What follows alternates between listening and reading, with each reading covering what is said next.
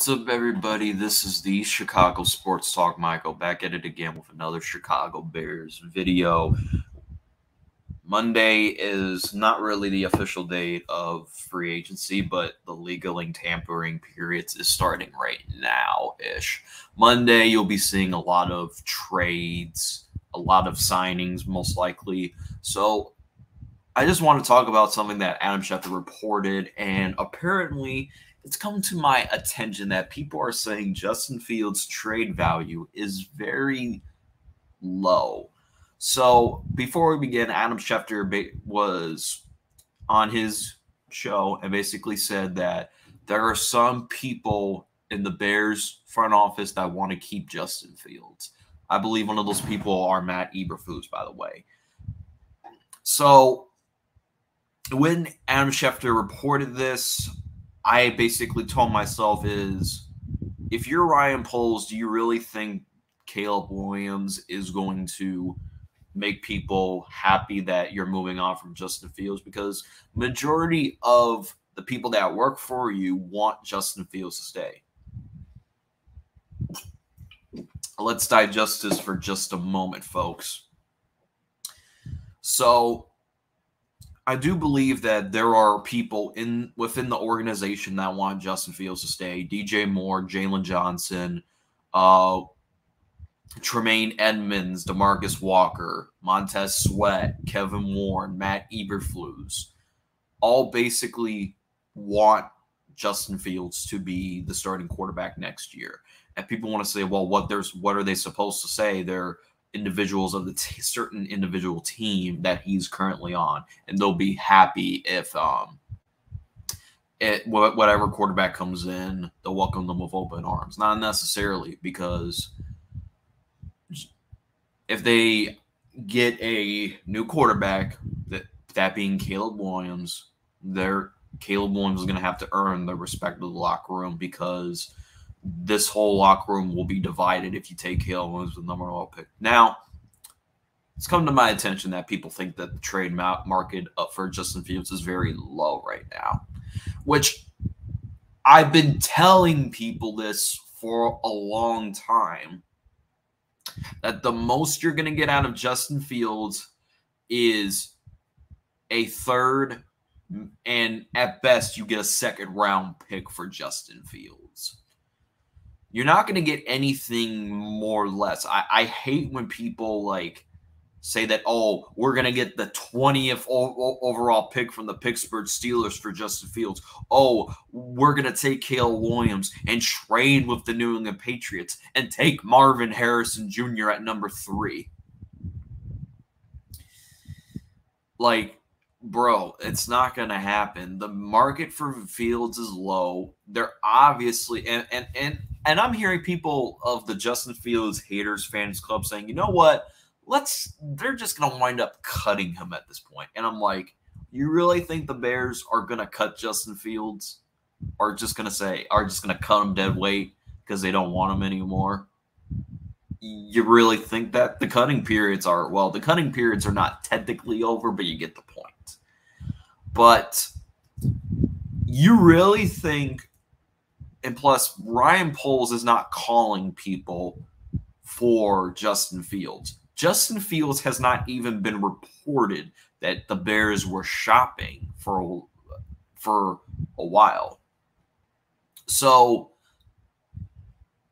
if they were going to get rid of Justin Fields, why has there not been a report of the Chicago Bears shopping Justin Fields? That's my understanding. And the Bears currently at this time have five picks entering in the NFL draft. And let me tell you something, you're going to get more leverage out of that number one overall pick to trade down and acquire future draft assets than trading Justin Fields. And maybe at best, you get a second round pick. At the minimum, you're getting a third round pick. So people you really think we're we're gonna take Caleb Williams and take Rome Rome Odunze will be taken by the time we get to nine. He'll be taken by the Giants, the well, uh, the Chargers, uh, the Titans, all those teams that I just told you, also the Falcons, they need a receiver. I will not be surprised in the in the steel in the Giants. They'll they're they're going to try to trade up to get to get a quarterback. So let me let me uh, tell you something. Has any reporter gotten something right on the Chicago Bears ever? They're thinking that we're gonna keep the pick and take Caleb Williams with the number overall pick.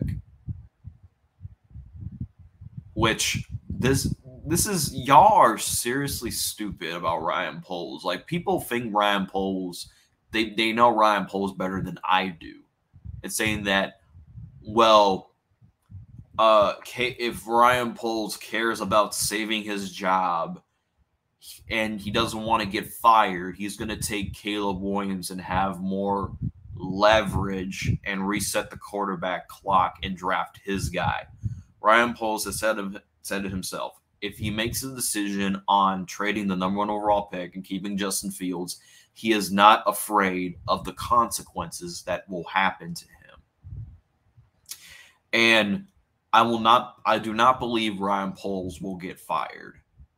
People want to say, oh, I want to make it a big deal. Oh, Ryan Poles is definitely going to get fired if he sticks with Justin Fields, and they suck for another year because of the simple fact that Ryan Poles has already done a lot for the Chicago Bears. One of the biggest ones, fleecing the Carolina Panthers.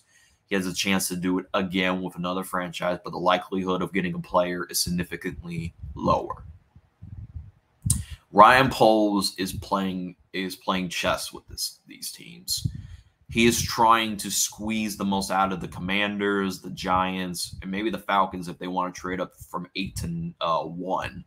So don't take it from me. Take it from uh, what Ryan Poles has done with the Bears over the past years. The media has speculated that we were going to take Bryce Young.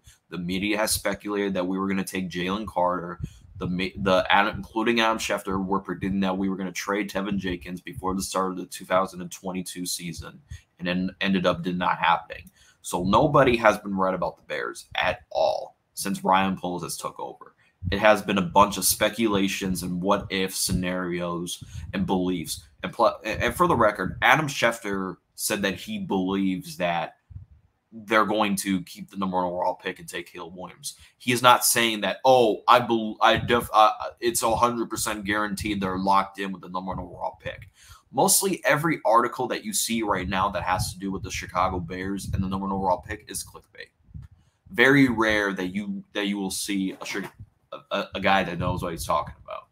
And I do believe the Bears will definitely trade the number one overall pick. I think it's the best decision for the franchise and people want to make it oh it's Caleb Williams versus Justin Fields. No, it's Caleb Williams versus three first round picks. So if Ryan and plus from and when I ran in my comment section, Ryan Poles has requested to interview Caleb Williams and view his medicals. And apparently, Caleb during after the combine, which Caleb Williams did decline. So that tells me that tells me Chicago may not have any interest left in Caleb Williams, as people want to make it to believe, because Ryan Poles says it's not always about the player, it's about the character. Because it was if it was if it wasn't about the character, the Bears would have taken Jalen Carter with the ninth overall pick. So, anyways, that's that's all for today's video. Let me know in the comment section down below how you feel about this. You know, situation that we're gonna get. Like I said, when I just can't wait for this thing to be over, so I can I can get the news of whether or not if Justin gets traded. I'm just like, you know what, I'm going where he goes. So, and, or the Bears keep the number one overall pick, he stays, and guess what? I'm gonna clown y'all for internal in the offseason. So, anyways, that's it. That's all. Hit the subscribe button as always. Thanks for watching.